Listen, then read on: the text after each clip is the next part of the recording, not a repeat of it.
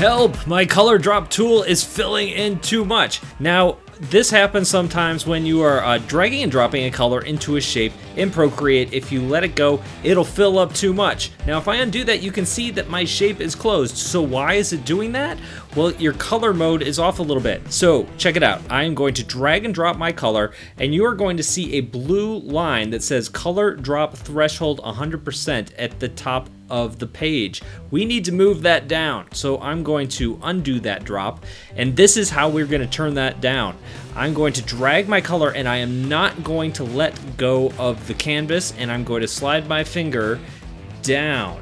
I usually keep my threshold around 50%, that works pretty well for me, but that will solve the problem for you. Another quick tip, what can you do with the color drop threshold? Well, you see how right here I kind of have a little bit of an opening on that circle? I'm gonna drag my color in here and without letting go, I'm gonna see that color drop threshold line appear at the top, and if I scroll it down, you're gonna see that I can actually move it down and it will ignore some of those small spaces.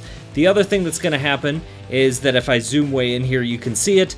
Uh, I have some extra white here. My arrow is really big, uh, but I have some extra white there. So if you get these extra white edges that you want to get rid of, color drop threshold, move it up. If it's kind of filling in space that you don't want it to when you're dropping the color, move the color threshold down. If this little tip was helpful, give it a like. That'll help other people find it too. And if you're ready to really master Procreate, check the description down below. There is a link to my online course. Or you could check out some of my reviews of drawing tablets or some of my other tutorials on my other channel here.